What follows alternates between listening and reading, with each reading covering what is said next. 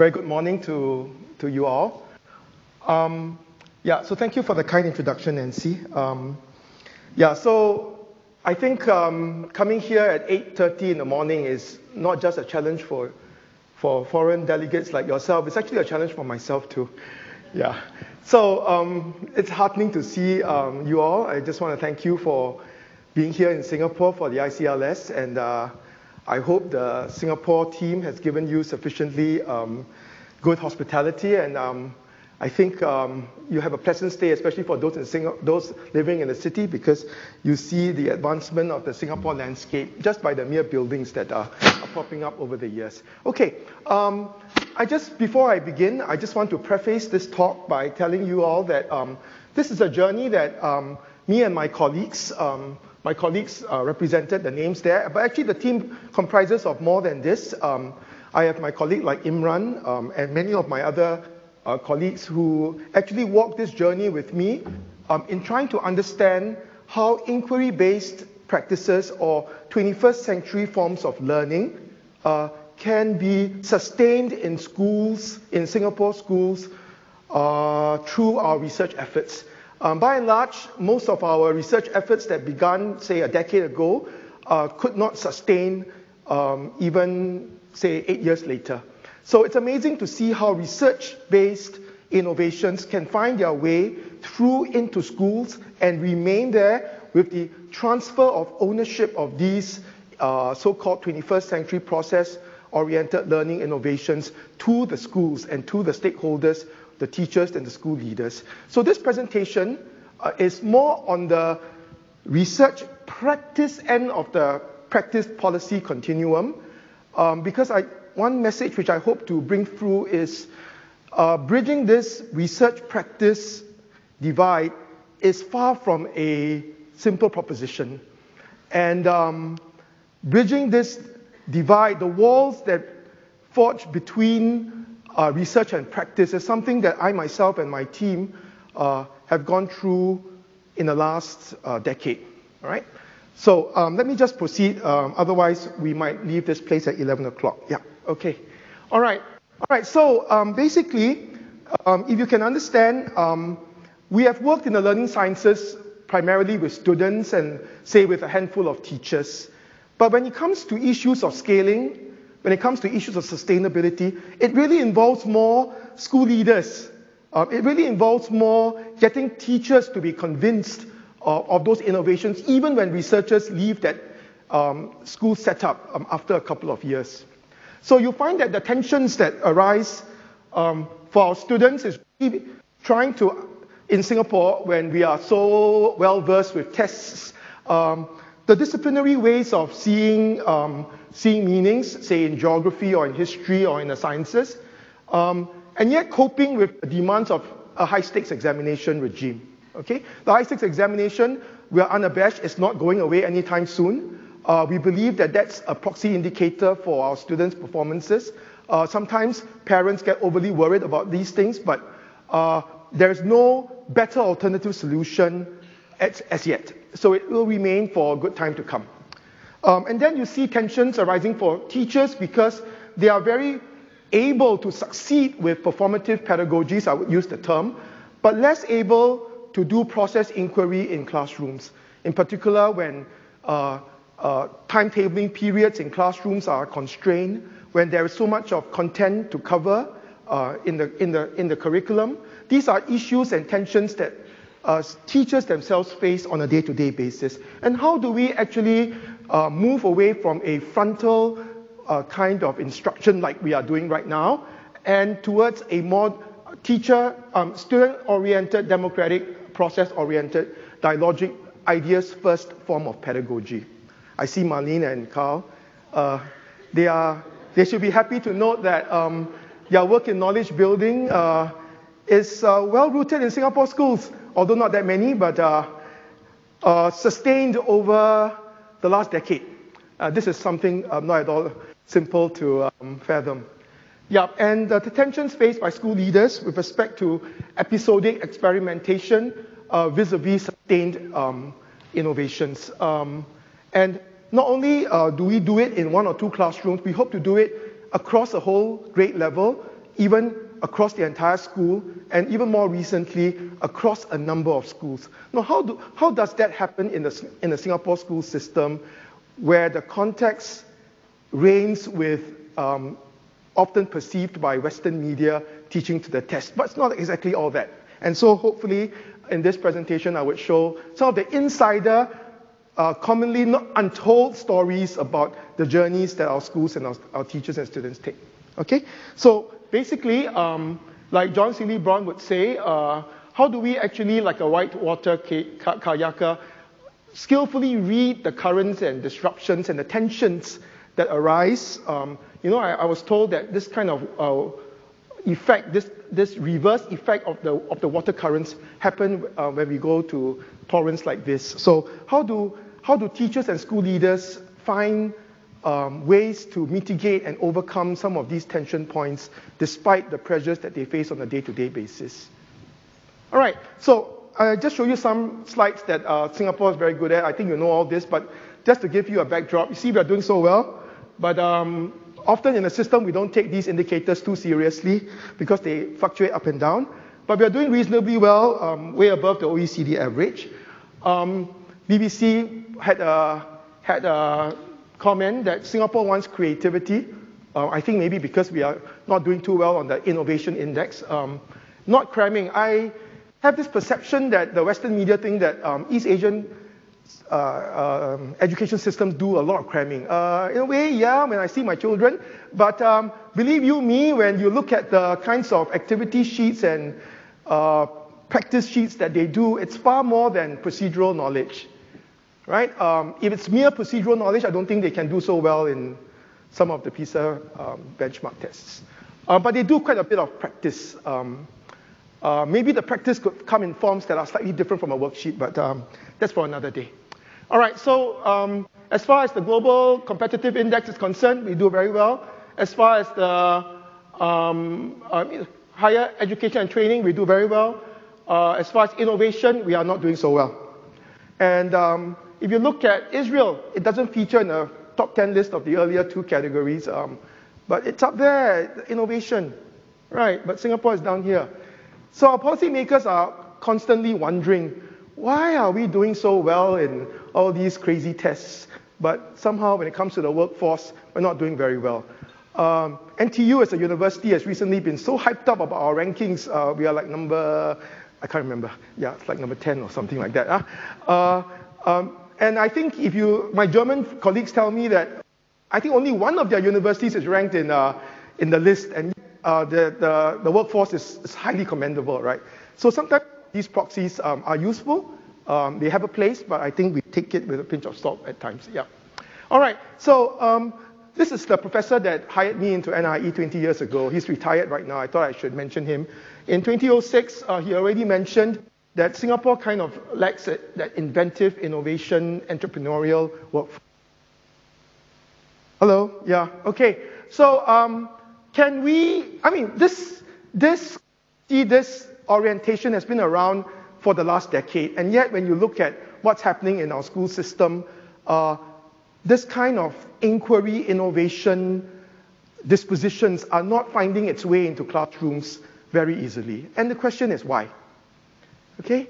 Um, the question is to, to, that, that we want to think about today is why is it so difficult to have these into mainstream, everyday instructional and learning practices in classrooms? Okay?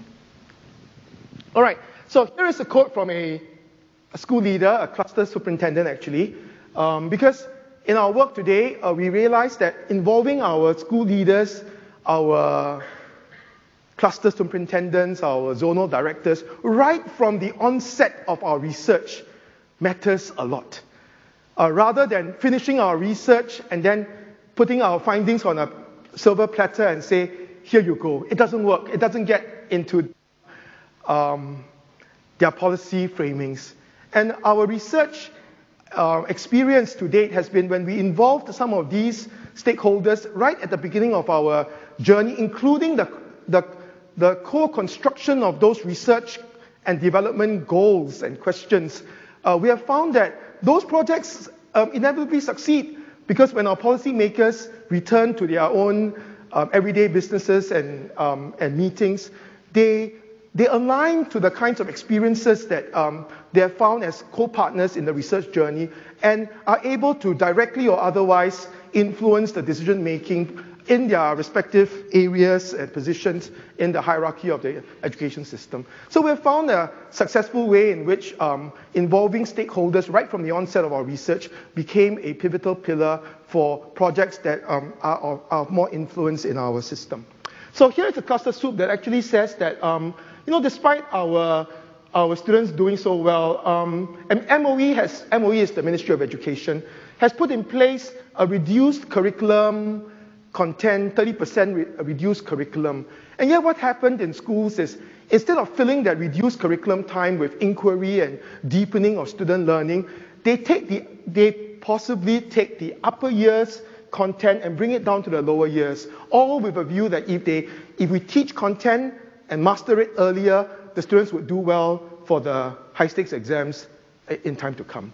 So this Instead of doing the 21st century learning, schools inevitably sometimes find themselves, because they, they have to account to, the, to, to parents, they, they are responsible towards um, our students, and, and, and grades and doing well in examinations matter in the East Asian context. So even when we reduce curriculum time, how are we able to have our teachers become more competent with respect to the skill sets and the disposition sets needed for inquiry-based learning.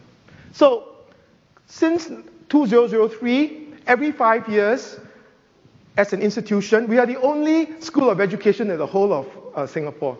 You probably find this very weird, but uh, uh, we are the only, and we take in, we, we do, we handle all teachers in Singapore, 20 over thousand of them, for pre-service and in-service, and um, it, it, has its pluses and negatives. Uh, in terms of its pluses, we conceptually are able to rally teachers together, school leaders together, and, and influence them where possible, right? That's conceptually. But of course, the world of conceptualness doesn't always reign in the world of practice. But um, yeah, so ever since 2003, every five years, we do a kind of national uh, coding survey of the extent of teacher talk versus student interactions in a classroom. And um, I, I must say that frontal teaching has been for like 10 years very dominant. But of course, the sample, the sampling was in grade 5 and in grade uh, 10, grade 7, 8, grade 9. And um, if you know our school system, grade 5 and grade 6 uh, are, are, years that students take a lot of time uh, to prepare for exams. And the secondary 3 and 4 are also years where they take a lot of time to prepare for the, we call O levels. Um, so Maybe these two years are not fantastic years to see the kinds of student-centered pedagogies that may arise in the classrooms. But my colleagues from the MOE and myself, um, having um, I, I, get the opportunity of going down to schools um, once a week for maybe half a day. Apart from that, I'm always doing administration in this university. But in that uh, half a day a week, uh, one day a week, and I, as I interact with the classroom teachers and school leaders, I find pedagogies um, really shifting towards a more process inquiry in, um, orientation. And so this is attested to many of my colleagues who actually do many visits down in schools today. So um, as far as movement of inquiry-based learning in schools, um, this circle, would, I would imagine, would actually be larger, okay, um, as the years go by. So we try to infuse some of these things into the school system. And since 2005, we have set up the Learning Sciences Lab, and many of the researchers that has joined us actually were able to to practice um, design-based research interventions in our local schools in their small and local uh, uh, manners. Okay? But the issue at hand for us is how do we take these classroom efforts and bring it up to scale in, at a school level? May not be the intent of the researchers, but the, it's the intent of our funding, our funding um, uh, stakeholders. Okay, that they, they do not wish to just see research being on the fringes, but they see, they hope to see research being translated into um, as many benefits to students as possible. So if you look at this um, chart here, we have a range of um, projects. Look at ideas first. When Kate Bielaczyc, I don't know whether you know her, was here with us a couple of years back, and now she's gone back to the US. She actually did um, knowledge building very deeply in one school. And and henceforth, we have had um, MOE uh, specialist officers that now actually bridge knowledge building in 14 schools. And the extent to which the teacher take up has been very encouraging, to me at least. Okay? And then we have, um, I don't know whether you know Manu Kapur. Manu Kapur um, helmed his theory on productive failure. And um, about six years later, he managed to convince the entire, um, uh, he, he managed to convince the Ministry of Education to take about 10% of the A levels stats curriculum and infuse it with um, productive failure methodologies. I, I, think that it's a, a bridge version of um, the, the extent to which productive failure would be practiced if you wished, but this is a very positive indication. But of course, Manu uh, has decided to move on to, uh, to Hong Kong, uh, which he didn't. Uh, we all take the bus here, but he takes the Airbus back to Singapore quite regularly. Yeah, okay. Um, all because I think the sustainability mechanisms for productive failure hasn't been um, actually so worked out. Um, okay, um, and then um, let me just show you. Um, so you see that later I will, I will show you some case studies on seamless learning, which Chee Kit, my good friend, uh, seeded in school since 2003 or 20, um, somewhere in 2005. Um, and then the number of years it took um, now with many of his postdocs um, doing it. Um, and then other examples that are researcher-led. Okay? So the question for us is, how do we move from researcher-led, research-funded oriented projects into mainstream MOE take-up, schools take-up, schools-led projects? This transfer ownership is far from a simple proposition. So let me just give you an overview of the kinds of, um, so we have baseline studies. Every, every once in five years, we kind of get a global index of uh, our teaching and learning uh, patterns in classrooms. Uh, we have a range of interventions research. We hope to get folks like yourself come and experiment in classrooms, uh, one at a time perhaps, innovation at the fringes. But after seven, eight years of research, we hope to kind of, using MOE's terms, harvest a, a range of interventions that has shown to succeed in one way or another in our schools and take them to the next systemic level. How do we do that? Because um, how do we do that? So on the one hand, innovation at the fringes. On the other hand, a more systemic approach of uh, a, a less bottom-up approach, a less researcher-led approach. And then, of course, we have come to realize the whole notion of leadership and school improvement studies as a means of sustaining. And um, last but not least, um, under this EduLab umbrella, my MOE colleagues are up there. Uh, together with them in partnership, we work the ground in order to get teachers to take up these, um, and the structures involved to take up these innovations. So, in a nutshell, we have research that range from student to the system level, the Singapore, Singapore as a system, and then we compare Singapore's system with other systems. And then we have very basic research in neuroscience, like one of them, yeah. Today, the fashion in Singapore is not learning sciences. It's called the sciences of learning. I don't know what the difference is, but it's neuroscience. And, um, and uh, my new, we have set up, after the Learning Sciences Lab, an Education, Cognition, and Development Lab. And they are the ones getting the money these days. They put up a $1 million grant on working memory, um, sometimes I, I look at a proposal, it sounds like the first keynote. The brain is like a muscle, you need to train it up, working memory, but they get the $1 million. the learning sciences, design-based research methodologies, the reviewers look at it, MOE look at it, I can't understand this iterativeness. the methodological design is too messy and they find it hard to continue to fund many of these grants. So it's a problem. I, I have no good solution, but we'll have to find how we can do these things. But the good news is, whenever the education minister comes here to visit us, he doesn't ask about neuroscience, thank goodness. Okay? He actually asks, how are the interventions that are being seeded in schools taking, uh, taking its, its course of um, work? He asks about change pedagogies in schools.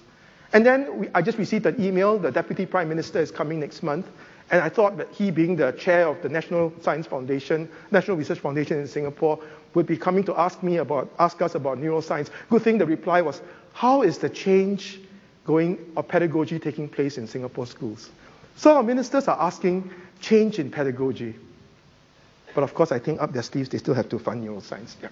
Okay, so, um, so more of late, um, we, we delve into this notion of these um, understanding the designs for scalability. And this is the work that um, Chee Kit, myself, and many of my colleagues who are seated there uh, go into schools on an everyday basis, getting to know, um, working alongside these design-based researchers who are given this mandate to try it out in more schools. But because our young um, learning science um, design-based researchers do not have that much traction with school leaders and superintendents and directors, we come alongside them. We have these dialogues with these school leaders, and my interesting observation is as we dialogue alongside the diffusion process, school leaders begin to realize what, what we are about. School, begin, school leaders begin to realize that we have to move ownership from research to practice. And it is, engaging in these dialogues and co-partnerships with um, schools and the Singapore Academy of Teachers um, that they begin to see why research has to find a pathway to impact down at schools. So I think our work is important. Uh, we do not try to duplicate the work of our design uh, of our researchers at, who do the, the very good innovations, but we do the work alongside the mechanisms that afford for sustainability. Okay, so just to give you a, a backdrop, um, in 2003, when the Center for Research in Pedagogy and Practice uh, was established, we were given 48 million Singapore dollars. We are 1.3 to uh, 1, 1 US dollar. And after 10 years, we are given $118 million. We must be doing something right, right? But actually not so. We have a hard time trying to convince our policymakers that our research findings actually matter. And very often, um, they, we have only got 20 minutes with our policymakers, and the nuances that come forth from case studies and the details in which we do in design-based research never, never get to their ear. All right, so this is a translation and trying to get research out into their perspective becomes a significant challenge for my office in which I'm currently um, working in. All right? I don't know how long I'll be there, but um, we'll, we'll, do, we'll do our best. Yeah, okay. So the Learning Sciences Lab was established in 2005 with only $12 million, and we have had quite a few people come join us. Okay, today most of them are not present with us, maybe just one third of them. Um, but 38, today we have 38% of our funding in interventions in schools. And many of these interventions touch and go. Very few actually are able to have a sustainability trajectory. So, just to give you an um, overview sense of um, the kinds of work that we do, uh, we have, um, you know, this is knowledge building and this is uh, history inquiry. And we have moved from transmissional basis to a more co-creation of knowledge. Um, this is uh, more monologic um, to didactic pedagogies. And Bringing technology into classrooms is a big headache. You know, about eight years ago when Chee Kit brought and his colleagues brought um, uh, portable devices, um, it was not even then iPads or things like that, into the classroom. Um, it's only today when I visit the classrooms that the socio infrastructure is more ready for devices like this into the classroom, bridging between the classroom and out of classroom learning. And for, for example, in this case, it's inquiry. Okay? So eight years to find stability of such things as a mainstream staple in classrooms. And then we have a case, um, immersive environments, for example. Uh, here's a case where there's the XYZ coordinates, and, and each one of these uh, students uh, have a different uh, view in, in their, in their in computers. And, and because Singapore has it's a flat land, and the hypothesis that um, Singapore students do not have intuition about terrains. And so the second best thing is to give them immersive environments, right? And with the XYZ coordinate at different uh, levels above sea level, they plot these contours, these maps. And then they bring the maps, superimpose them together, and then it becomes a so constructed uh, map. Um, a geographer's way of seeing meanings, right? uh, forging uh, disciplinary intuitions, as my colleague would say, or Andy diSessa's notion of p-prims, um, something like that. Okay? Yeah. So, and then we introduced maker spaces. Um, we go to the US, see what you do, and then always come back and do the same thing, but probably with, a, with, with not exactly the same tinkering uh, cultural dispositions. But these things are succeeding in schools. I went down to schools and I've been able to see teachers uh, really subscribing and believing in this pedagogy. Um, why? Because Singapore students dare not fail. that's the hypothesis because it's cost, too costly to fail. Um, even parents don't let them fail. So give them an uh, augmented environment where they can learn to fail. This is a bit pseudo, but um, better than nothing, right? But some of these students um, are doing very well. Um, uh, we, would, uh, we, we don't want to label our students, but some of these students doing um, design and technology, uh, maybe the lower progress students academically, uh, have been able to find motivation in doing these things, an identity expression in their schools, and then because of these on the side motivational expressions, they were able to find an identity projection at, even at their usual typical classroom activity. So I think it's a good thing anyway. Yeah. And then we have out of classroom, uh, out of classroom, out of classroom uh, learning activities are a lot easier to do in Singapore schools. After the examinations, they go on a digital trail. And we like to expose teachers to these things first because since the classroom change is so difficult, let's try a good experience outside the classroom first, and then they'll be surprised at what their students can actually do. Now, this is an example of what we do with um, informal learning. We also have informal learning. Well, this girl, basically, um, we do ethnographic studies, or more than that. Um, we actually uh, kind of select, identify some of these students and trace them through their course of their schooling years in the Singapore school system. It's not all cramming. This girl, for example, um, very creative to me in my mind. Um, the school doesn't allow girls to wear bands. I don't know why. Um, it's not allowed. So she, she hung a, a, a, clock around it, and that becomes a watch. So now she can wear it. And then um, she, because there was no, because she loves to, to deconstruct a watch and put it back again all the time. She just loves doing it. So uh, her parents can only give her cheap watches, uh, nothing, nothing like an expensive one. And then because there are no dates, um, she actually put a, uh, a, manual one that which can shift the date um, and show the day in which she's in. So these are untold expressions of our students, um, even as they go through crabbing, as it were. But I'd like to posit to you that she doesn't cram very much. Um, uh, she had, um, after we did this with her about two years ago, with the O levels exam, which is grade 10, uh, she had all distinctions despite not mugging. Okay? Yeah. So, in a nutshell, what I wanted to show you is that we are beginning to, having seeded in the Learning Sciences Lab eight years ago, a range of interventions, and these interventions came by the researchers' interest. Okay? And we'll continue to do that.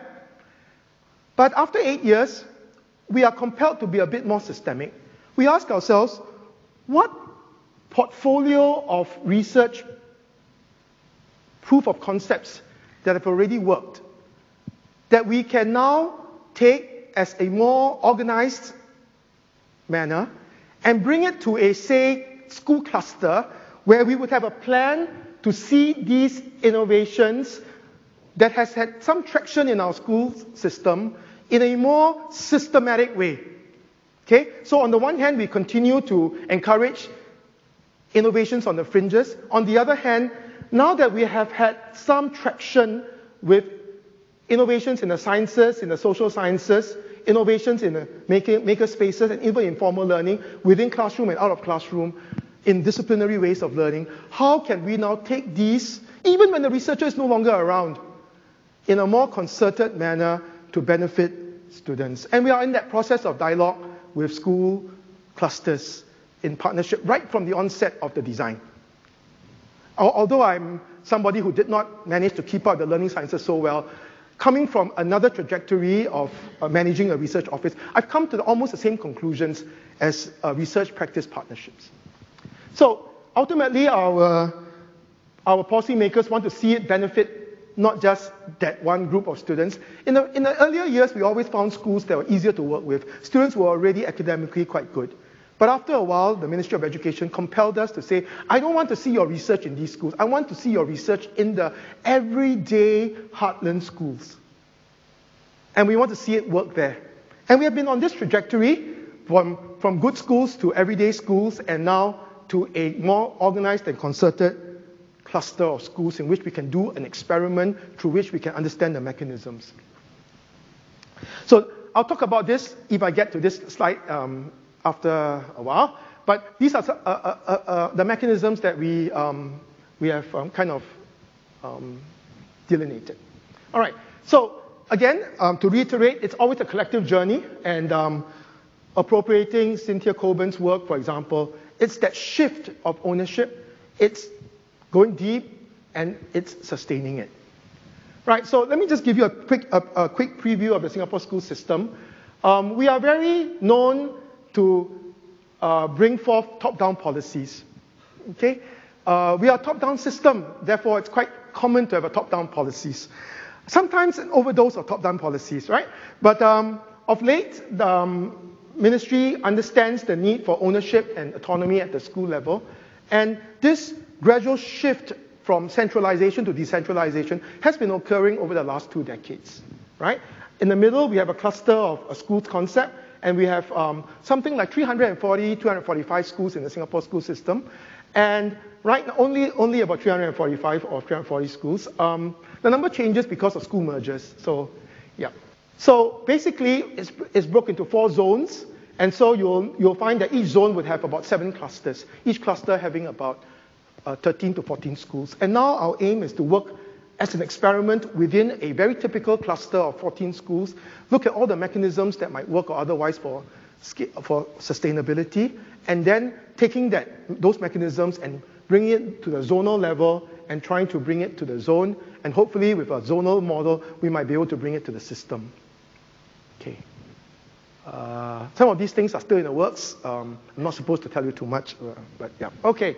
All right. So, um, looking at all the literature, I was rather perturbed because looking into all the systems people like Michael Fullan, who comes here quite regularly, um, uh, I'm not feeling the sense that there is a systemic framework that we can take um, reference from. Um, so um, I took Bronfenbrenner's five layers of ecology and tried to see whether the Singapore school system could be mapped within these five, la- five layers and to see how alignments can be uh, forged within these five layers. Because if there are no alignments, you'll find that there's no sustainability. It's as simple as that. Okay? So how do we actually do that um, over time? How do we actually engage in research practice or practice research partnerships in order to bring these alignments? So just to reiterate, the first tension is the tension between high performance outcomes, which is a staple in our school system. It's culturally in our DNA It's not easily removed. Even you want to remove all the examinations, the parents still want it. Yep. Okay. Versus a more process-oriented learning. The second tension is how do we actually take episodic um, interventions and bring it to more sustainability. Yeah. And so let me just summarize by saying that um, if I were to map the five layers of Bronfenbrenner's framework, and I want to just collapse it to a more simpler frame of three layers, uh, macro, meso, and micro, and I will look at how the meso interacts with the, um, the, the, micro and how the micro uh, percolates upwards to the macro and vice versa in a two-directional manner to see whether there are any innovations in our, in our advent since uh, 2005 in the Learning Sciences Lab, which were able to, uh, to find alignments across these three and then posit the kinds of um, mechanisms that we hope to understand. All right. So I like Jim Spillane's work because in one sentence, he kind of paraphrases what the issue is, that we want to change things. Learning in context changes the context itself. Now, how in the world do we do such research when all your variables get messed up, right? And so we sometimes, I think, call it design-based research. But our policymakers cannot understand these things too, too well. Okay? So how do things happen when everything needs to co-evolve and co-inform and and the intertwining relationships between leadership, curriculum, pedagogy, and teacher profession all happen at the same time. All right, so let me just go through the three layers quickly and just delve on some of the literature that I think um, can help us. Right, so uh, Michael Fullan and Ben Levin would say that if you want sustainability in classrooms, it really is uh, it's um, involving all parts of the education system. Well, we all, we all know that, okay? The problem is that I know some of these things, but I do not know how to go about doing it. Yeah. And so even a deputy uh, school leader who used to uh, work on one of those innovations actually realized the need for sustainability um, as, the, as the end goal of what we do. Okay, so if we look at system improvement work, um, um, you'll find that they tell you uh, many, uh, many very sensible tenets. Okay, you need a strong implementation team to support the change process. Yeah, I know that. Um, you need a multi-level engagement and strong leadership and a guiding coalition. Yeah, okay. Um, what does that actually mean in practice? Uh, that means all, all, all parties and stakeholders. And we need continuous learning with effective use of research data. Now, that's certainly true because when we are able to show in a systematic way the kinds of learning gains our students have, it somehow is able to attract more funding. Um, and then we look at school improvement work, and we find that if the larger system is more coherent in its relationship, then uh, you'll find that the change strategy that works for the respective school um, will become more optimal. Um, and then we know that um, very sensible, very commonsensical things that McKinsey a few years um, said uh, in their report. I wonder why we pay money so much to McKinsey to tell us that teacher quality is the most important variable, but, that, but that, that's how they earn money. Yeah, okay. So um, the effect size of, um, of uh, teacher training is uh, uh teacher uh, learning and development 0.84 against other more administrative uh, variables. And what's important here is I think um, the importance of recognizing that different systems, especially like East Asian contexts, have different assumptions and cultural nuancing compared to uh, more Western centric. And we need to understand it from that indigenous context in order to understand how change occurs. So, um, just to reiterate some of these very sensible tenets, um, but again, I'm looking for a more systemic way of policy to practice alignment, misalignment, dialectical uh, framework that can inform us of this change process. Um, so, so Richard Elmore would say that, you know, it's actually not an assumption that teachers can actually learn on the job by observing other teachers in classrooms.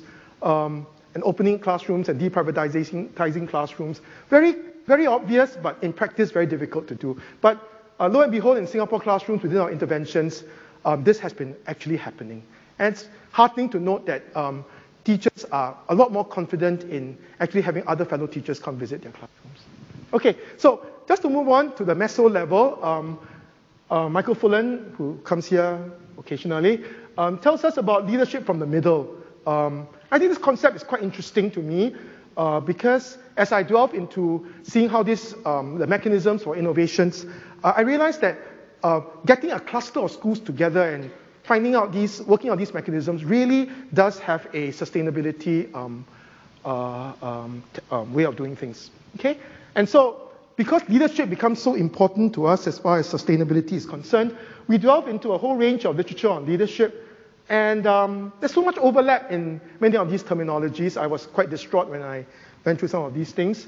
Um, and so I concluded that our research indicates no single model of leadership uh, satisfactorily captures the cluster school and teacher leadership and enactments in our uh, interventions, innovations trajectory. So it's a combination of a few of these things, and then some indigenous aspects through which we characterize the kinds of teacher leadership work and school leadership work. All right, so in a nutshell, um, I want to go down to the plunge down to the micro level because I know that your community here do, does a lot of microgenetic analysis. Um, so I just want to show you a couple of uh, excerpts to show you the tensions that teachers face, uh, the fear for failure, the fear for being willing to try, and the inertia to move to a more embodied participatory form of learning. Um, and students cannot let, teachers cannot let go of their authority in the classroom. And they worry a lot because they can't preempt the kinds of questions that students would ask. Um, they have to finish the curriculum and, and finish the lessons. And this, this is their, their, their meaning of being responsible. And Singapore teachers are very responsible.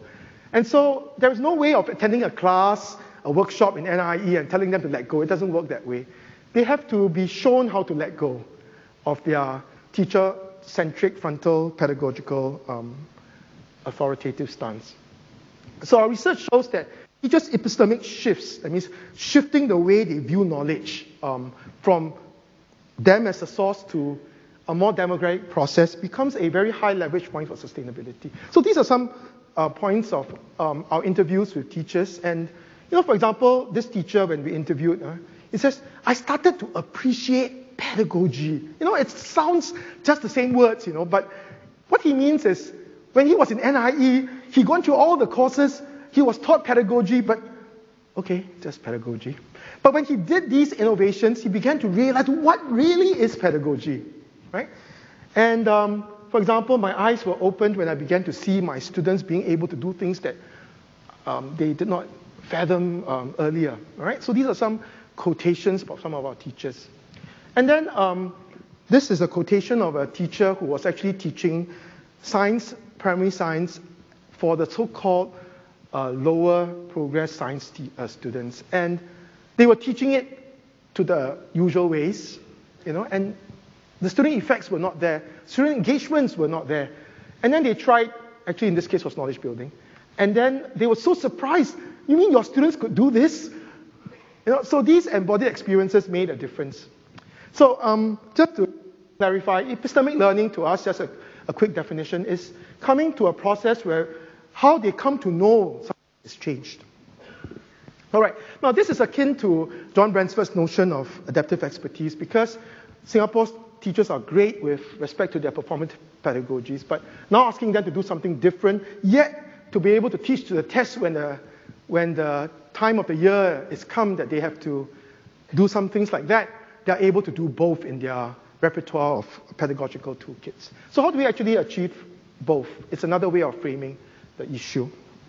All right, so just in a nutshell for my MOE colleagues who are up there, sometimes um, I, yeah. So, all right, so we have to look at the, the, the three macro, meso, micro layers of the system, looking at the mechanisms for sustainability, and looking at leadership at the cluster, school, and teacher levels in order to see teacher shifts and student outcomes. So um, I think we are reminded that although we can do a lot of systemic changes at the macro level, ultimately it's the change at the teacher which is the heart of it. Yeah. So just to give you a preview, I have yet to even touch my uh, three case studies, but basically the three case studies connote the macro, meso, micro layers. All right. So here's the methodology of the first one where we go alongside um, intervention projects and we basically um, have reflective dialogues with school leaders. All right. So just to point out, I want to show you that um, there is an indigenous aspect of the Singapore school system and the culture here, which I think very few um, of us realize. It's actually helped, I'm actually helped by my sociologically oriented um, colleagues who go into cultural studies. Now, the East Asian context recognizes power distance. Power distance is when there's a hierarchy and uh, there are power differentials. And very often it's not easy to, mm, to bridge these power gaps because of the culture in which we are in. So we have a system like that. So when the boss says do something, normally it's being done whether voluntarily or otherwise. Okay? But it's that, that is power distance. All right? And then another notion is that, yeah, on the other hand, there is a lot of collectivism for the social good. All right? So whilst we might not have so much agency in doing something, but for the collective good, we are willing to do something. So these were some of the experiences that can explain some of our um, teachers' behaviors, right? And the third um, thing, which comes from a efficiency mindset of a bottom line KPI, we mentioned, our guest of honor mentioned, key performance indicator. Teachers have a need to perform to the perceived expectation, right? So this actually, efficiency mindset comes from a historical chrono system perspective of how in a good 45 to 50 years, the Singapore's education system has ranked so highly. What, it was more top-down than bottom-up. Okay? But of late, there's been a lot of bottom-up emphasis. So that it, it explains why the psyche of our teachers are the way they are. Right? And perfectly reasonable. So here's an example of an intervention um, on seamless learning where, um, where this was the node school in which um, the interventions first started, okay? And you'll find that from this school, it spread to five other schools and subsequently six other schools. And what was done was that you see uh, fellow other teachers from schools, from those five and six other diffusion schools, coming to observe such a so-called messy classroom. You seldom see such a messiness in um, Singapore classrooms. Okay? And then you'll find um, apprenticing uh, teachers who have had experience in enacting these process-oriented inquiry, um, open-ended science inquiry questions um, alongside the classroom to help teachers who are practicing the craft. And then what's interesting is they, they come back um, once in two weeks from five schools and they co-design the lessons from a very frontal form of instruction to a very dialogic form of instruction. And then what's happened in this school is that um, they take the ideas learned from such a context and actually reappropriate it into their own department's uh, visions and plans. And this school in particular had greater sustainability because the school was able to appropriate it to their own, um, own schemes of work. So let me give you an example. Now, when this school principal, the nodal school principal, wanted to do this work, the first obvious thing the school did, want, uh, the principal wanted to do is to connect the superintendent. Okay? Because he, he knows that without the superintendent's support, he cannot get the five other schools or six other schools on board. And then you find that the, the people who have had experience doing the enactment knew that this enactment cannot be just a set of curriculum materials and given out to teachers from the other schools without any form of dialogic meaning making and interpretation. Right? So it's not a rollout, as it were. All right, so another consistent view to our indigenous context is that when we spoke to the you know, these, I, I, put former here because all these school leaders that were in the original Nodal school all left the school and got posted to other schools. The crux of the test to the pudding is, do these innovations still remain even after the school leaders left the school? It does, okay?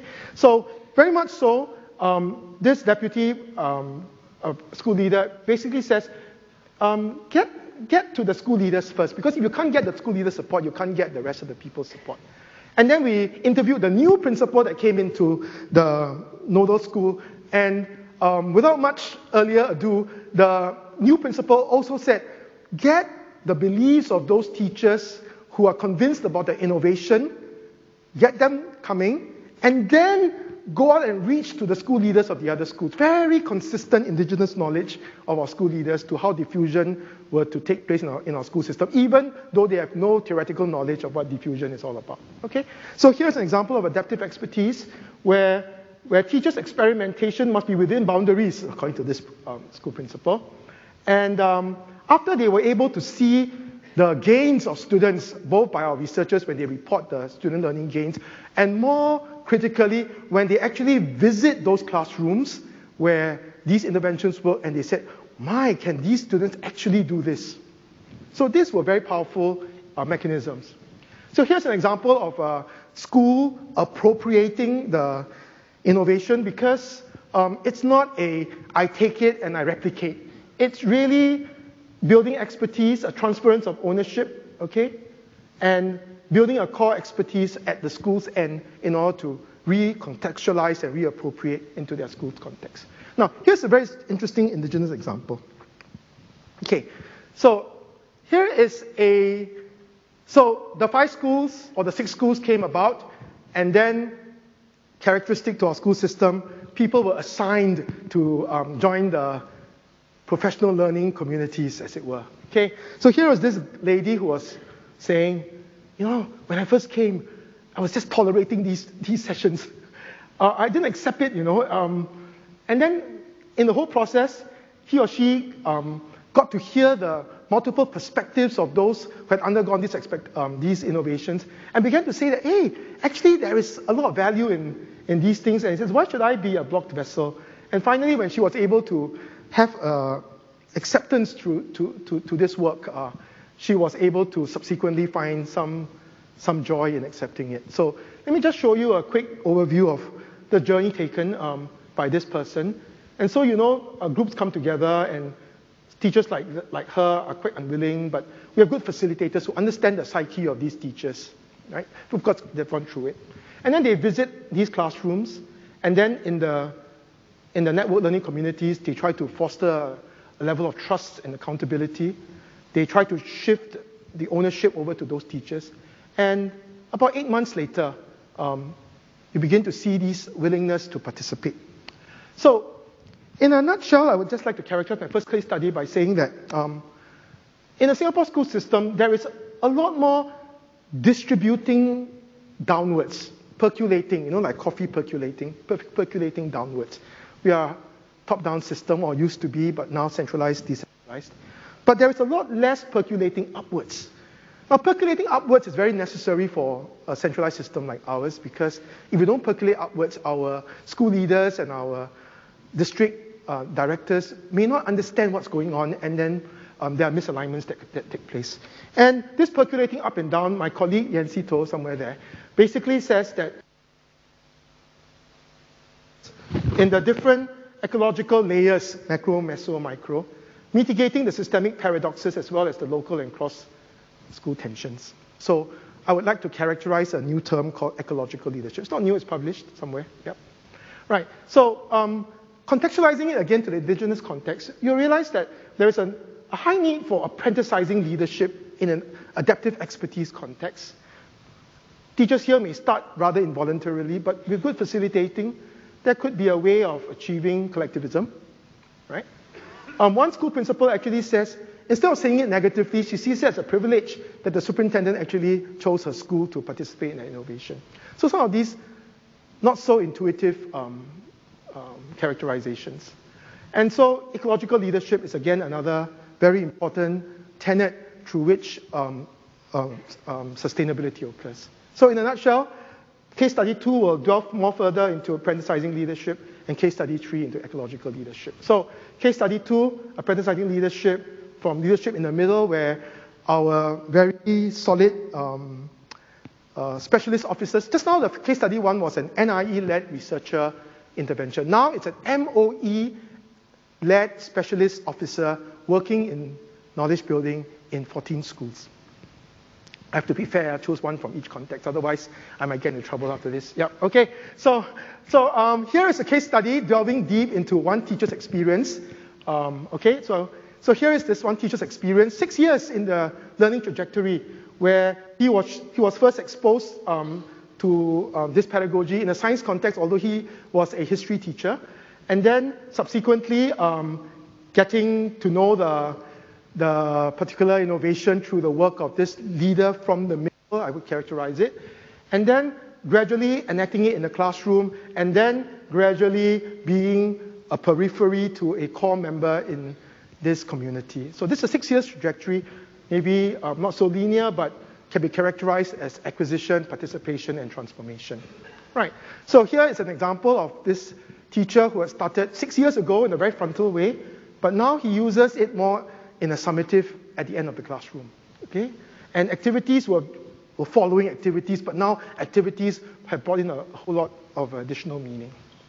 And then here is um, epistemic agency, knowledge building, but here is an intervention that aligns very well with epistemic learning.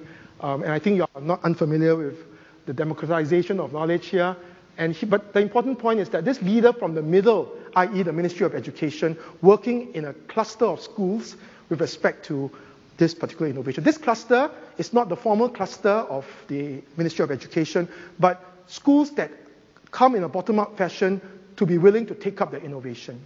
So this has been successful in the past, but going forward, we hope that we would capitalize and leverage on the formal cluster system of the education system. So here's an example of the pervasiveness of knowledge building for inquiry um, in our classroom. Even after uh, three months, six months, students were still able to remember what was learned. Here's an example of agency on the part of the teacher because whilst the apprenticing leader was more in science, but teacher was able to take his disciplinarity and his understanding and, and infuse as part of the uh, pedagogy he would use in the classroom. So here's an example of um, students taking perspectives, views in um, history. In this context, World War I was Germany at fault, and um, taking evidences and building upon it, and um, and seeing contextualized interpretations uh, supported with evidence, with uh, historical reasoning. Now, this teacher would tell me, compared to the last batch of students of the same cohort, these students were able to appropriate these disciplinary ways of seeing historical meanings. Here's an example of how this student was able to defend why Germany was not always at fault or not all at fault, um, and contextualized it to a schoolboy, AB, bully, non-bully situation, and about aggression and defensive behavior.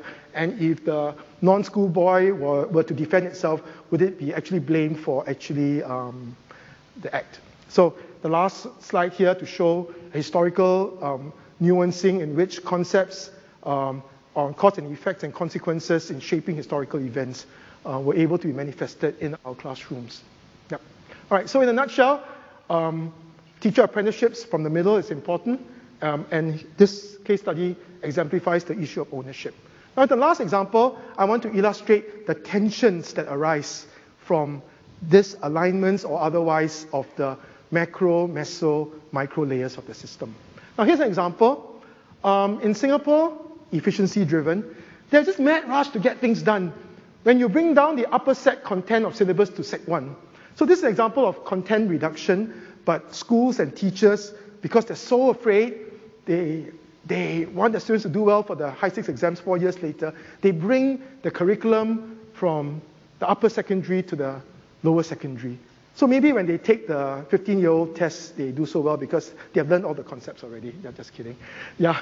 So here's an example of policy misalignment because even when there is a policy need to reduce content, teachers might not have the ability or the competencies or the dispositional skill sets in order to make use of that reduced curriculum 30% time. All right? So there is a question of saturated curriculum space. So here's another example of alignment, and you see something like this, it's an alignment, it's because there's, there are principles, not that many of them. We hope to see more and more of them. This principal was able to survive a grade six high stakes exam dip. Okay?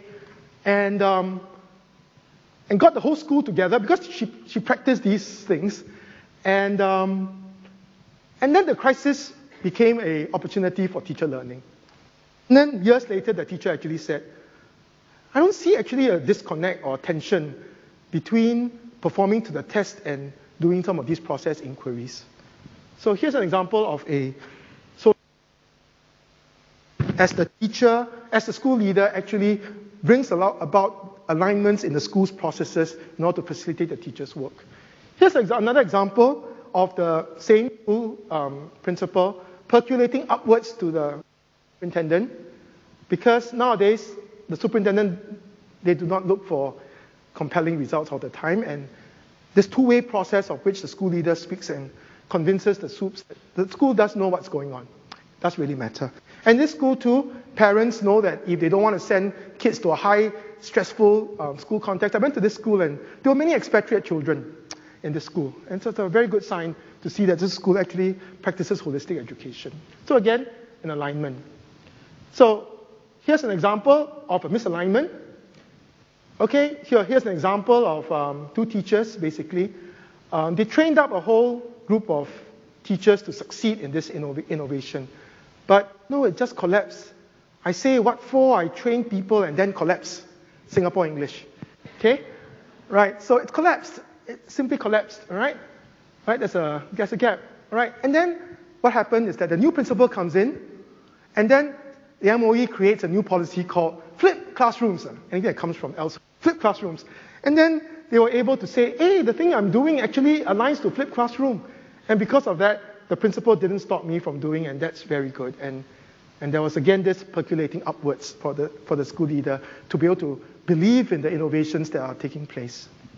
All right, so I, I jump on, I shift a gear, and I want to show you the socio-technical infrastructures that are needed in the macro, meso, and micro layers in order to show that um, these things have to work. Now, in the audience, there are master teachers from the Singapore Academy of Teachers, and it's because the MOE set up a teacher track and not just a school leader track, that school teachers can specialize in pedagogy and advance and get promoted up the, up the, the, the career. All right? And this track actually fosters certain social leverages for these school leaders to operate from non-within school contexts, in, in other words, inter-school structures. And so we have master teachers from the, from the academy, lead teachers who operate at the cluster level. And so here's an example of a lead teacher who basically one day might become a master teacher, and he was able to seed and sustain these innovations. Here's a same teacher who basically, before, um, before then, she was working at the school level, and she was able to these innovations in terms of classroom management, questioning, and so on and so forth. So these are cluster level structures of which now she is operating at the cluster level. And then here's an example of a socio-technical structure at the school level where the school principal needs to actually integrate processes, look at time, timetabling, all these funding, professional development mechanisms in order to make things work in his or her school. Even for technology, getting a te- technical assistant to stand by when uh, teachers are executing these, these things. All right, so these are very important mechanisms. So I come to this slide. So my colleague um, and I, my colleague Yancy, Azi, and so on, they, they appropriated a concept by Ron Adner, ecosystem carryovers. Now, um, so when teachers are able to do professional learning communities at their school, within school levels well, there is a carryover effect of such learnings to the network learning communities at the cluster level, right? Right. So these are carryover effects, like like the iTunes or iPhones or the iPads or the, the iPods. There's a carryover effect um, of such technologies. So Ron Adner posits a carryover effect that um, needs to be in place in the system for it to sustain.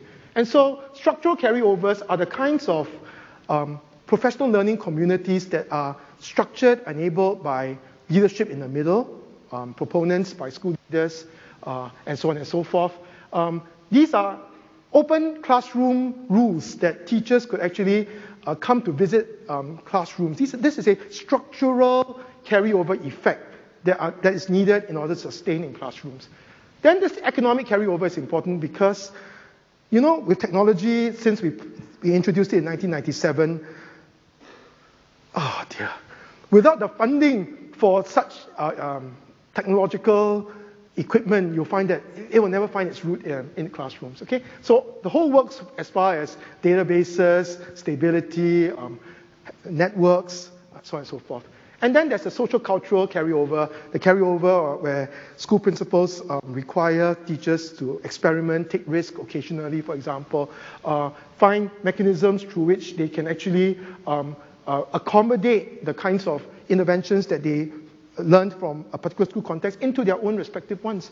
And then finally, the epistemic carryover, where we see shifts and we see teachers working at not just the school level, but at the cluster level. Okay. So again, I list down some of the tenets that enable these things to take place in our schools. Where at the school level, there are, there's culture of innovation, risk-taking, uh, slow, a low recourse to failure.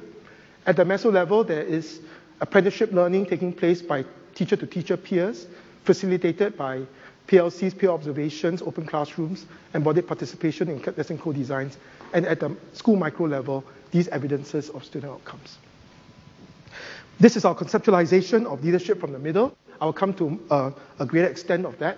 But you'll find that lead teachers and master teachers who can work at the middle level and creating the infrastructures for apprenticing leadership and creating the learning communities that enable adaptive expertise to take place. And then at the school level and at the policy level. We need to find alignments across these three. And here is our characterization, because even as we saw the three M layers, we also began to see a fractal concept within the three M's. That means there are three small M's within the three big M's. And then you'll find that if every school innovation champion is able to take leadership and percolate upwards and percolate upwards, you'll find that um, sustainability of diffusion best best occur. So now we are working with a cluster superintendent, and that's her, his boss, and um, we are seeing how this range, the range of um, the range of uh, interventions that we want to take forward to the next level can seed in our in our classrooms. So again, um, after we realized from our data that there are three small m's within the three big m's. Hey, we encountered, and Michael Fullan said the same thing too. Okay? Right. So, so here is our characterization of um, what um, uh, um, uh, a conceptualization that we did together with the Academy of Teachers, where although we wanted teachers to have their interest-driven needs, there are needs that have already been established. Teachers do not need to start from ground zero, especially with proof of concepts that were already established via our interventions. How do we take perhaps the supposedly involuntary initiations to voluntary participation of teachers because not all interventions in our school system need to start from ground zero. So we characterize this map where the teacher is the heart of change, formative need and professional need as a basis within the professional learning communities and network learning communities in Singapore. All right, so here is an example of but with agency and ownership, um, we mitigate the very process through which we hope epistemic learning could take. Working with a cluster, we began to realize now we are working one-on-one with teachers, we are working at informal clusters. How do we have a mechanism to be able to reach out to more teachers? And we reckon there are three kinds of situated professional development out in schools. Level one, we can have more participation by teachers because this is the, less intense, the least intensive.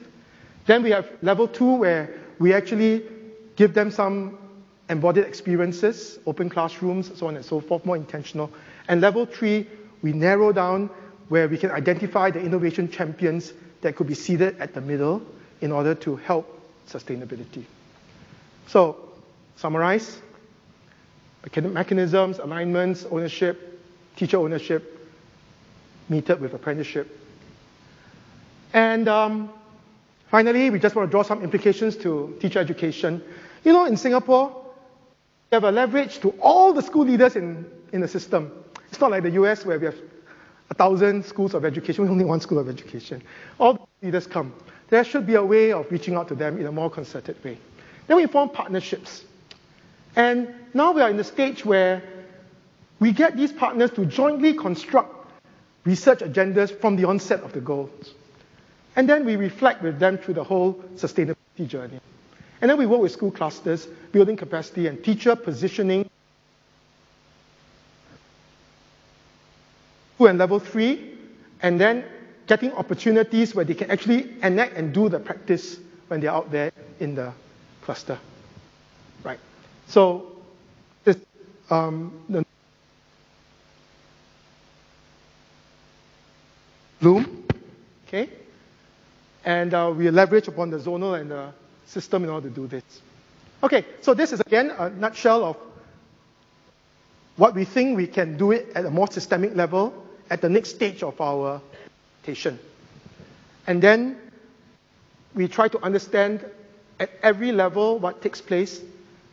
Um, and I came to know that there's such a thing as called design-based implementation research. I seldom have time to go for conferences, so I hear it from my colleagues. I didn't want to mention it too much because I haven't read it myself, but uh, my journey in the office have found that involving the stakeholders right from the onset is very similar to uh, DBIR. But I think I want to venture into all these DBIR iterativeness. There is a place for understanding the indigenous context and knowledge through which that ground and territory you are playing in uh, is, is about. And then this whole notion of social capital with school leaders because you want to get the things going, you really need people that can, that can interact and partner at all levels of the system. And we can engage in these very sensible, reflective dialogues with these um, decision makers. And then finally, the whole notion of teacher identity positioning for a more situated, authentic, embodied form of uh, learning on the job, as it were.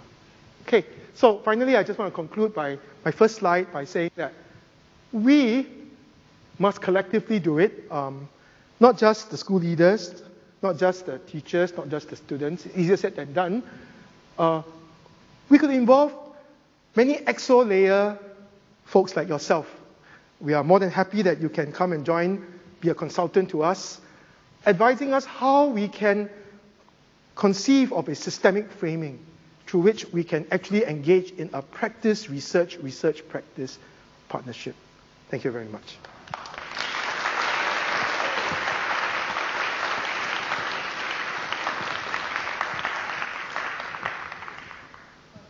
Very much, David. Wow, it's a very, very rich, um, you know, disposition or exposition of the journey and a lot of case studies and a lot of concepts uh, involved.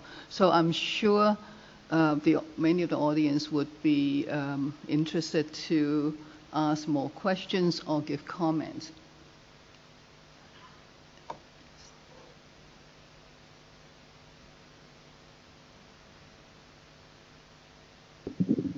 Hi, David. Hi. I'm Chi. Uh, thanks for the very inspiring talk. Um, I look at this model and I think, wow, wonderful. And it's so complex. And my question is, does it require a divine combination of people from all these three levels in order for something to be diffused and sustained over years? Or is it, um, uh, yeah, so is it a divine combination of all the all these people? A, a what? A divine combination? combination, yes. Well, I'm not sure about divine. um, if you want to experiment um, one-on-one classrooms, I don't think you need um, all, all these. Um, work with the, the, teachers who are involved, um, influence them. But if you want to work at scale, and if at scale is the needed understanding from the onset of your design, then I think you need to involve them from the onset. Why? You know, we have gone through this journey with the Educational Technology Division. And we initially, eight years ago, we started with expensive technologies, these very strong research and solid um, innovations. But today, my colleagues and I know that these will not find its place in the school system eight years later. So, on the one hand, we have small scale interventions by local researchers. On the other hand, we need to enthuse another group of researchers who are here the, for the long haul, who are here that can understand these mechanisms and actually enact out in practice the socialities needed for that research practice, practice research partnerships. So you don't need everybody from the onset, but for a systemic improvement exercise, I think you need to involve. And I give an example of one of the more successful projects that we have. We have one 5 million project and we have one um, other teacher learning education project. And the one, dividing, one overriding divine tenet is involving that policymaker in that and that really made a big difference. And then the other 5 million project, every six months, called up to the Ministry of Education to update the ministry what was going on with respect to the findings of that project. This partnership, in its manifold forms, depending on the impact trajectory that we're talking about.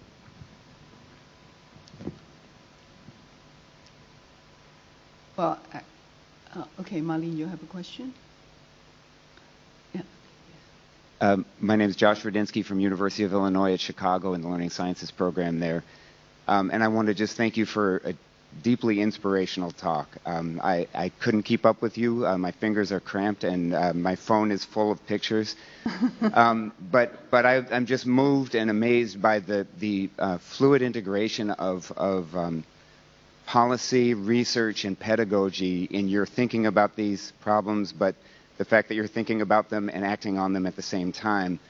In Chicago, we are at a, an impoverished level of trying to do um, this this kind of work. And uh, I'm learning deeply from Singapore and from your work right now. And I just hope that we can bring back to Chicago this way of thinking. Uh, um, people believe that that that policy, research, and practice can't live together. And I think that you show us that it can. I, am very moved and inspired by your work and by what you're doing in Singapore. And um, maybe we can um, bring you back to Chicago.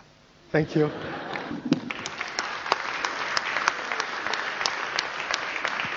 Thank you. We are just a small system, and um, we often say uh, we are like a living lab. We are not huge like your districts in elsewhere, only 340 something schools, but we have a living lab, and we welcome welcome you to come and see if we can find all find um, policy, practice, and research.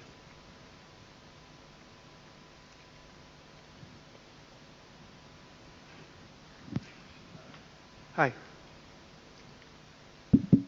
Hi. Uh, my name is Glauco. I'm from Brazil. Hi. And uh, uh, I'm very interested on this on the whole system to understand the the, the whole of the the, the partnership of the, the teacher tra teacher training program with the in-service uh, uh, teachers.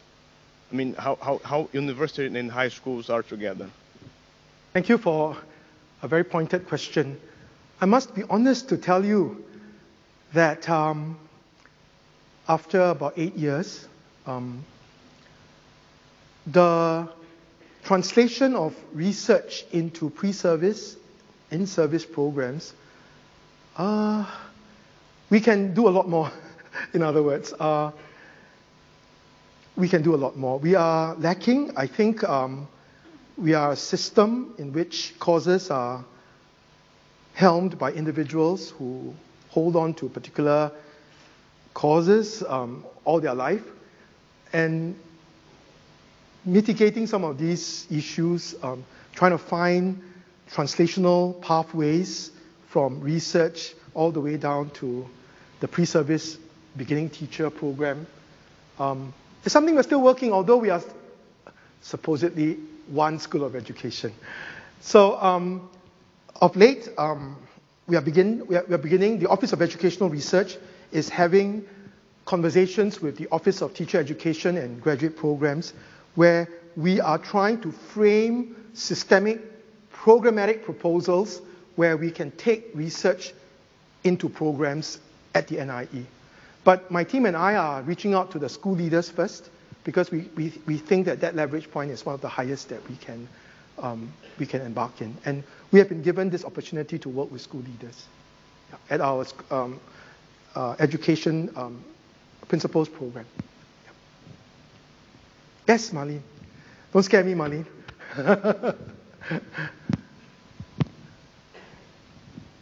you talk about uh, systemic change, and um, yesterday we had a comment uh, from um, David Istance of OECD, who was t- really talking about uh, the need for public relations, bringing family, parents, that an awful lot of these innovations seem rather frightening because this might do worse by tests. They might not cover the curriculum.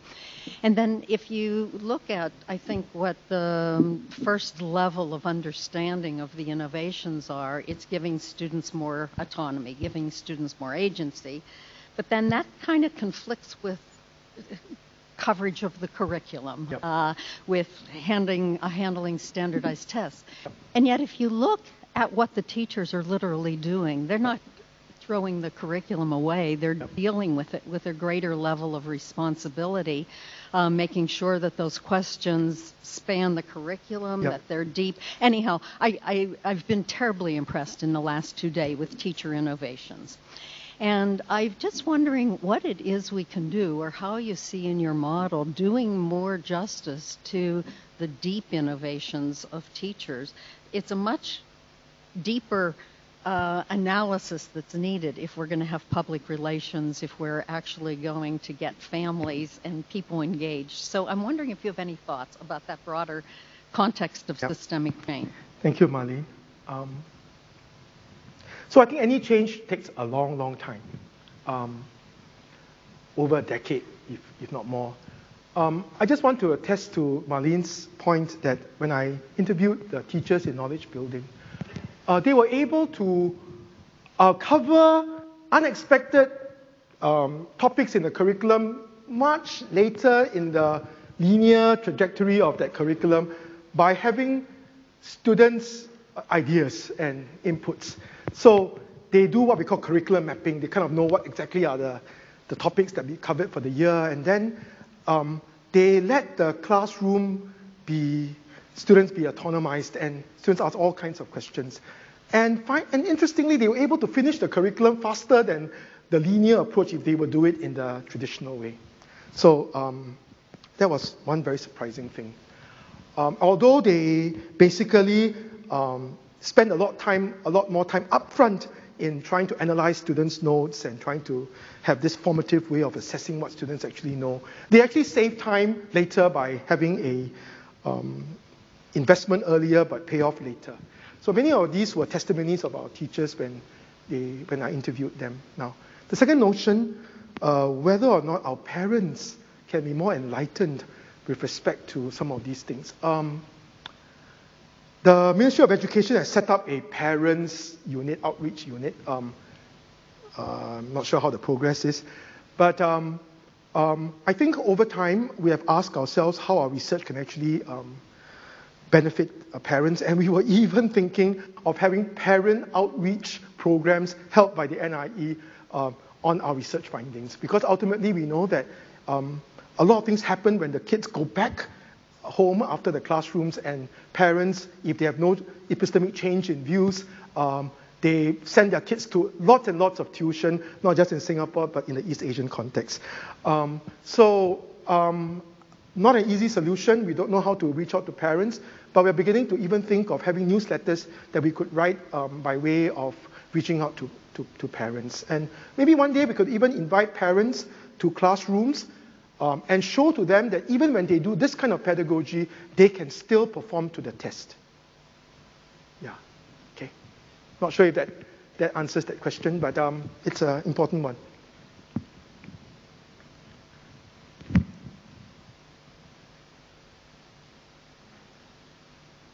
Yes, Carl. What frightening, frightening Carl.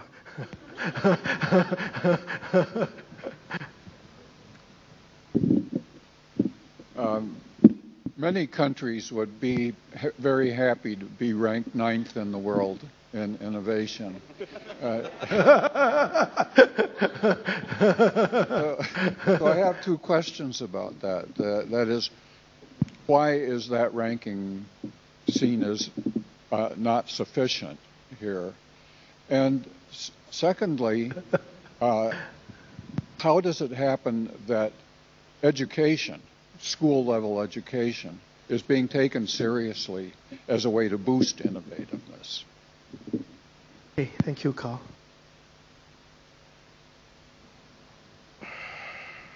I guess um, recently, if you have read the newspapers, the government in Singapore what you call Skills Future program. Um, Skills Future program is with a view to leveling up lifelong learning dispositions. So I think um, they have this conception that whilst our students are doing very well in schools, somehow after graduating, from the point of graduating to, say, 25 years old, when Minister was here, he asked me, why aren't you doing a longitudinal study up to 25 years old? I said, Minister, why 25? He says, I feel 25 is important. why? Because he feels that um, at 25, you will see whether the kids have an entrepreneurial kind of disposition.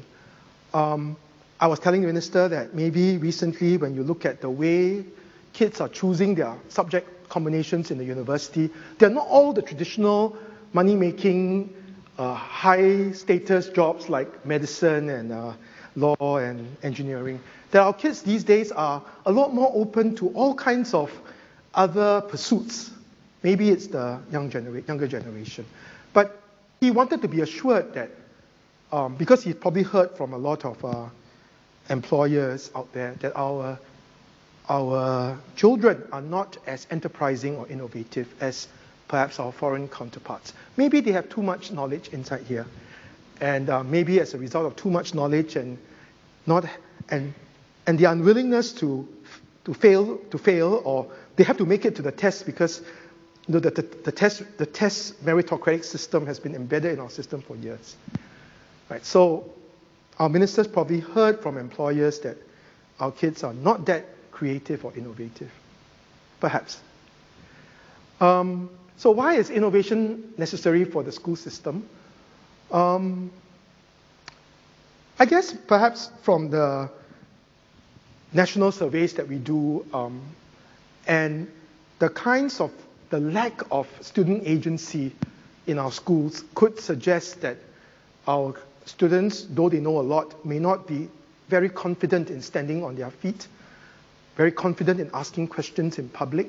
You find that in a situation like that, very few East Asian people stand up, right? except for Sing Chi.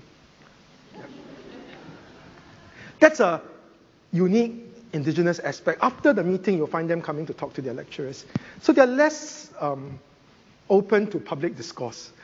And um, that doesn't mean that they can't think, but I think there's a hypothesis by our deputy prime ministers who were education ministers back home back then that if we could tweak some of these things early, just like what they're doing to early childhood now, if we do it early, um, you'll find that some of these competencies could be trained or developed or cultivated, fostered um, from early on. Thank you very much. Um, is there any, well, we, I think we can have time for one more question, if there's any.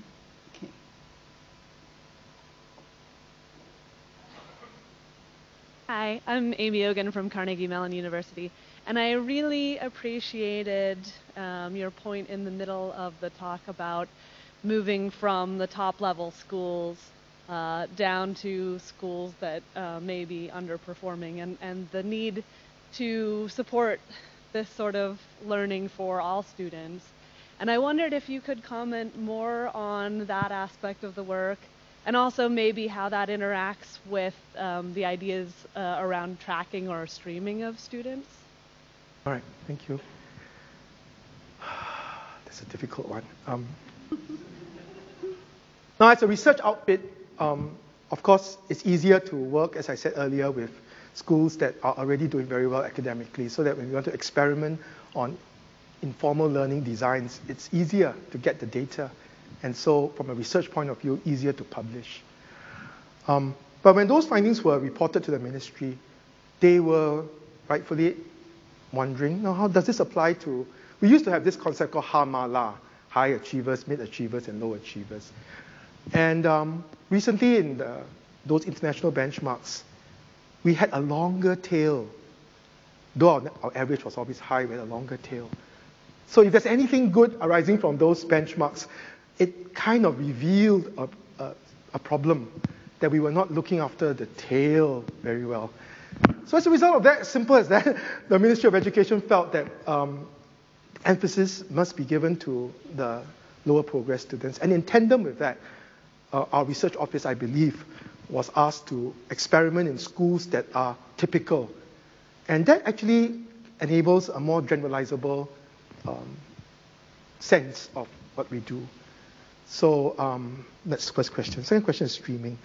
Um, we have relaxed all these streaming things um, over the years. In fact, if you ask many parents these days, um, um, these used to be high maneuvers of the system in streaming has progressively been uh, removed.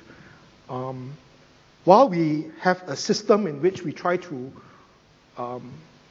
put certain students in certain schools so that um, there's within school variability rather low for efficiency's sake of instruction. Um, and that, that, served the system pretty well in, in, times past. But I think going forward, the, uh, the ministry recognizes the need for um, non-streaming mechanisms, but changing the system is not an overnight affair, as far as I understand. Changing the system has to be done very slowly and carefully and progressively so that maybe after 10 years, when you look back, it looked like a radical change, but actually it was actually done very incrementally from the point of our policymakers. So, grade six national high stakes exam is an example where it was so high stakes, and the minister kept saying, "Can we broaden the criteria? Broaden the criteria." And he was here a few weeks, months ago, and he's, he asked me, "Can we broaden the criteria?" I just, I, I said, I think I said to him, "I thought we just broadened it." yeah. So basically, they're trying, they're making all kinds of efforts to lower the stakes, but sometimes, as much as the ministry can lower the stakes, the parents are, when they know what the criteria is, they know how to reach it. But when the criteria is all blurred up, parents actually get more worried because now they don't know what's the criteria and they actually become more intense and more stressed up. So sometimes these socio dynamics very hard to predict um, in our cultural context. Yeah. Thank you very much.